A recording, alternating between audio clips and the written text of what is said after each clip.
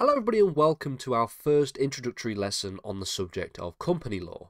What we're going to do in this lesson is introduce the nature of this topic, talking about the nature of business forms, i.e., various different business structures which can exist, talk about the sort of pros and cons and the characteristics of each of these different business structures before turning over to looking at the company specifically and then we will finish by simply outlining the scope of this series of lessons, taking a look at what the kind of topics we're going to be examining in this subject course on company law.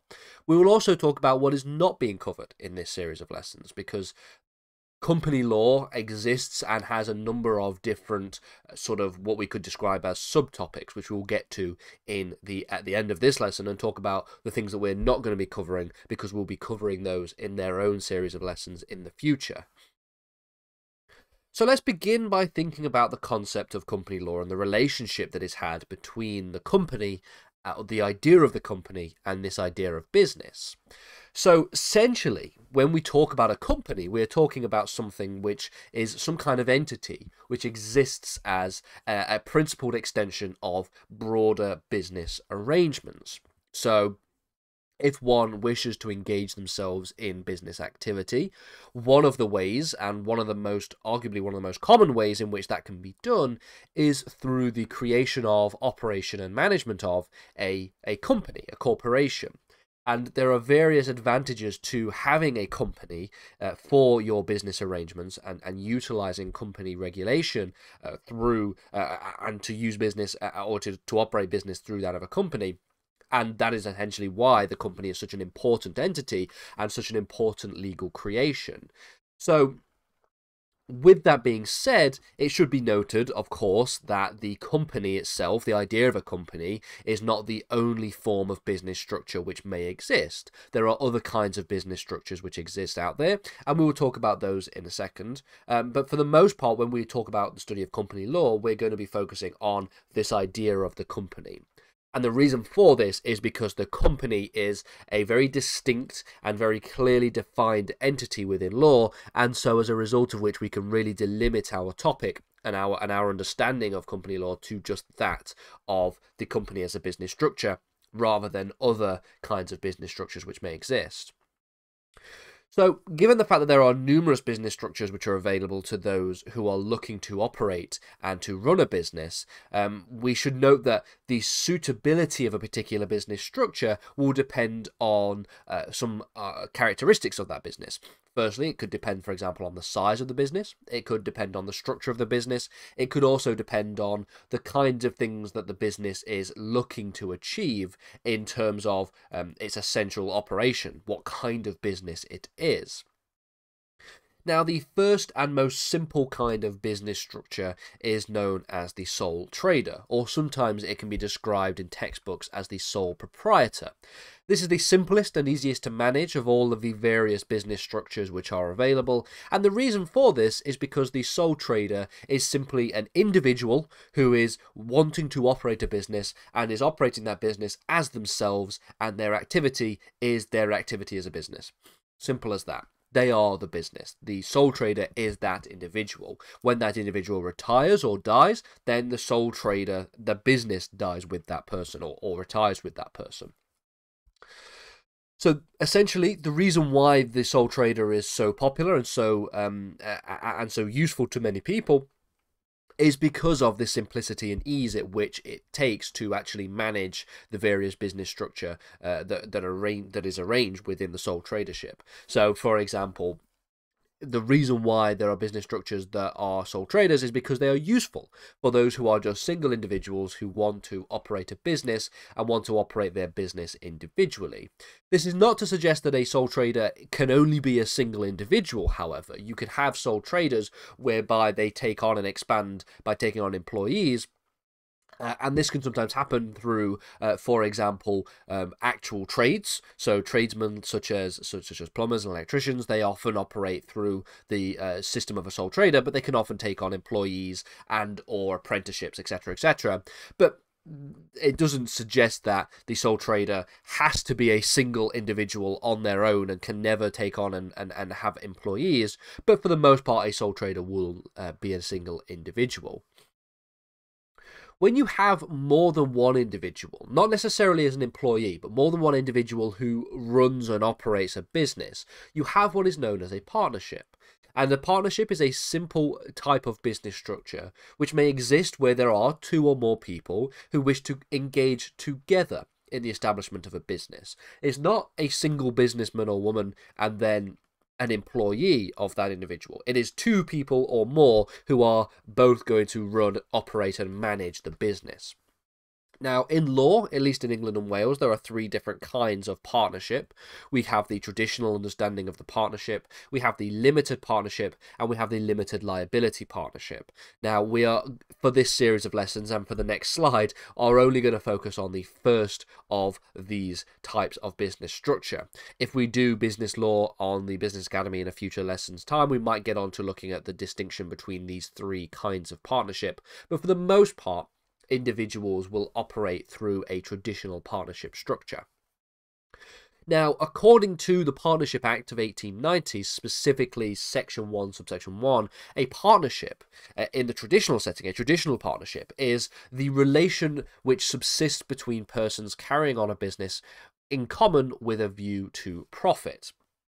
So, uh, the things that we see here show that there are certain characteristics of um, of, a traditional partnership structure. It is a, a business structure, and it is the business structure which subsists between persons. So there's more than one person, so two or more individuals, and they are carrying on the business with the common view to profit. So they are they, they are establishing a business for the purpose of commerce, for the purpose of of creating commercial profit and it gives a very good definition of a partnership. Uh, essentially, it's a business structure which is similar to that of the sole trader, but there are multiple individuals who are involved with that particular uh, enterprise. Now, the final thing that we're going to talk about here is the idea of the company which is, of course, what this series of lessons is going to be talking about. Now, the company is separate from the sole trader and it is separate from the idea of a traditional partnership because, in order for a company to be formed, it has to go through a process known as incorporation. Now, the reason why this is the case, the reason why incorporation is necessary for the creation of a company, is because a company exists as a separate legal entity to the people who created, run, operate, and manage it. So, whereas a sole trader is just the individual who is doing the business. So, for example, Joe Bloggs, who wants to set up a sole trader, who wants to be a sole trader, and they are an electrician, they are the business. When they retire, the business retires with them. That is, it is just them. A company is different because a company, through the process of incorporation, establishes itself as a separate legal entity. Um, so you could have an individual who creates a company, and then that process of incorporation leads to the company being separate to the person, such that if that person then retires or that person um, then passes the company on, the company stays the same. The company will remain as the company uh, uh, while other people can come and go within that business structure. So essentially, incorporation is the process of creating a new legal entity, and that this new legal entity is that of the company. There are numerous types of companies. We will see in the next lesson the different types of companies that can exist. But the advantage of a company is it allows for various liabilities to be limited to the company itself and not necessarily those running the firm. So, one of the things that is a general uh, fact of business life is that for the most part, a business will eventually take on and incur uh, debts. They might take on debts for various different reasons. Now, the advantage of having a company is that because a, a, company is often a limited liability, it means that those debts are debts that are incurred by the company as separate to those that are incurred by the company director and therefore the director may not be as liable or may have limited liability for the debts that the company incurs because of the fact that there is this separation between the person who is running the company and the company itself. So, with that being said, let's talk about the scope of this series of lessons. Um, as the title suggests, because we're doing company law, this is going to be an examination of the law relating to the regulation and legal operation of a corporation, of a company. And with this, in this regard, we're going to be dividing this into six main sections. The first section is just going to be a general introduction to business and company law. This means that we're going to talk about the types of business form, which is what we did in this lesson. We're going to talk about the nature of the company, the different types of company which can exist exist, and the various principles of company law which exist as well. This then ties into the next section, which is going to take those principles of, of company law and and run with them and really examine some of the consequences of those principles. So we're going to talk about the fact that we have principles such as corporate personality, separate corporate personality, the idea of incorporation, the concept of limited liability, and the ways in which this leads to the uh, expression of uh, the existence of corporate groups and group structures and enterprise groups. All of these factors and all of these principles then will tie into section three, which is going to be focusing on this idea known as the corporate veil. The idea that when you have limited liability, it is almost like you have put a veil between you and the corporation, such that debts and uh, various liabilities are incurred onto the company and you are protected from that.